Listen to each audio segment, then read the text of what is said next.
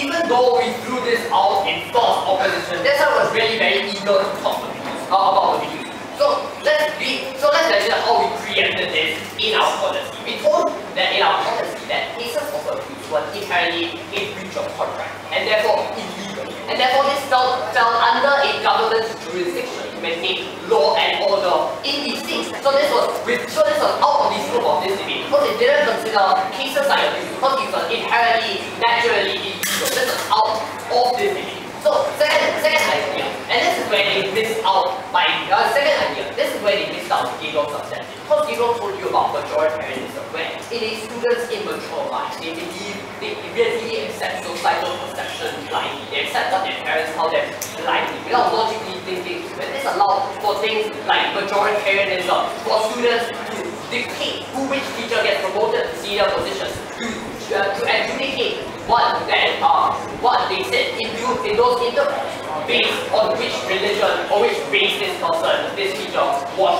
Not responded to on their side of the house. We told them how they perpetrated majoritarianism and racism on their side. They didn't respond. So let's ask two questions. Number one, are students a good marker to make decisions on promotions? And number two, who achieves better outcomes for all parties? So number one, are students a good marker to make decisions on promotions? And this is where proposition told us that students are a good marker to make decisions because they spend lots of time.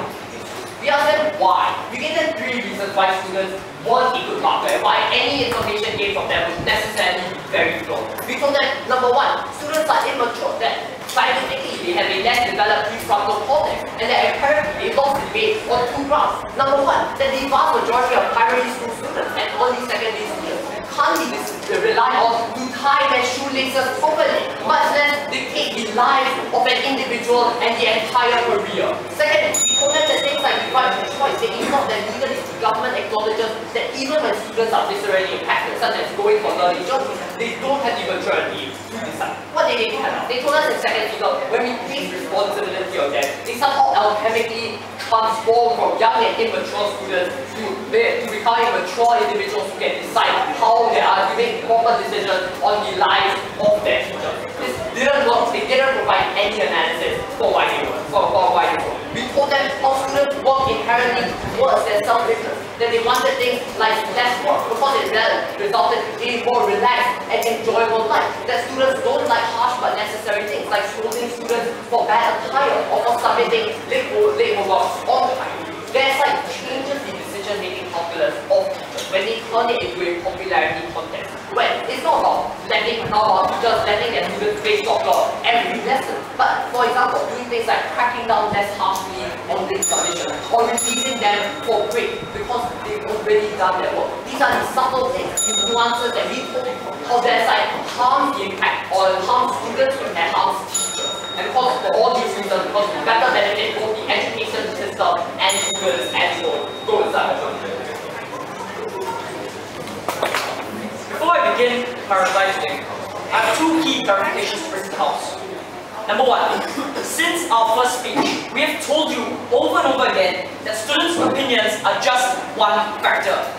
All they have thrown at us throughout all three of their speeches was that you can't let a seven-year-old decide a man's livelihood. And we don't think that this is existent in debate at all because this is not our policy. I encourage the opposition to further study what we have brought to you today and because of this we've taken the debate. But secondly, before I begin, they have lost this debate because they have effectively failed to clash with everything we have brought you. All the all the alternatives that brought us, albeit crazy, can be subsumed by our side. We can put VPs in every single class. We can install CCTVs all over the school too. So we don't think that anything that brought us is mutually exclusive and for these reasons we have taken the debate. So, three main clashes emerged from the debate today. Number one, legitimacy of students in making decisions. Number two, attitudes of teachers in class and outside of it. And number three, messages sent by both policies. So I'll now show you how the proposition has taken all three of these and effectively the debate is hold. So first and foremost, around today, the legitimacy of students. We told you throughout our case that students have an incentive to get the best teachers to help them. So well, I think it's great that Opt2 enjoys playing football, but what they, all they did in response was homogenize students.